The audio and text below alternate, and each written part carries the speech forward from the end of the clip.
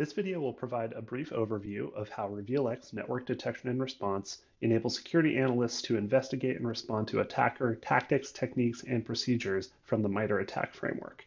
If you're not familiar with the MITRE ATT&CK framework, this is a framework that documents and catalogs attacker TTPs that have been observed in the real world and rigorously documents these TTPs to make it easier for security professionals to detect and respond to them in the future. MITRE ATT&CK has 12 categories of techniques, many subcategories. Currently, 266 tactics, techniques, and procedures are represented in their enterprise framework. This is a great tool for security teams to use to take a broad view of the types of attack behaviors they need to be able to detect and investigate in their environment. So within RevealX, we start out on the security overview page, which offers various views into the detections that are currently on our environment. We've got detections by security category, by device role, by detection type. And if we go up here to the detections page in the product, we can get a little more detailed view of these detections. We start out with this list of detections that are sorted by risk score. And if we sort that by techniques, then what you'll get is a MITRE visual matrix showing the subset of the MITRE ATT&CK TTPs, and those highlighted in teal are ones that have been detected in your environment.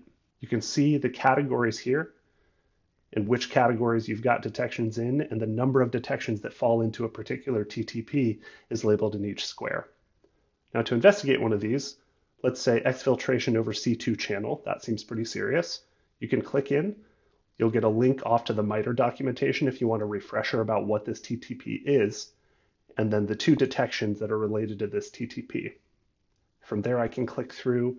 I've got more details about this data exfiltration detection, victim, offender, and even a button to investigate this detection further, which I'll go ahead and do. So here we've got some of that same info as well as a related detections timeline showing what happened before and what happened after. So you can start to put together a complete view of what sequence of events led up to this detection and what happened next. So if there's an attack campaign in progress, you've got a beginning to end view of what actually happened. Further down here, we've got some IP addresses that might warrant investigation.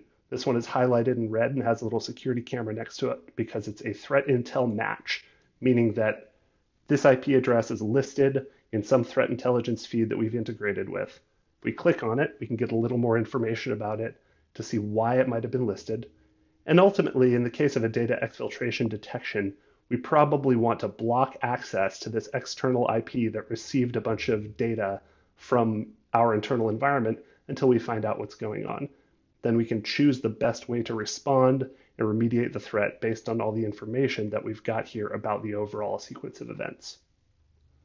This entire demonstration was done in the RevealX online demo, which you can access and try out for yourself by visiting www.extrahop.com/demo. Thanks for watching.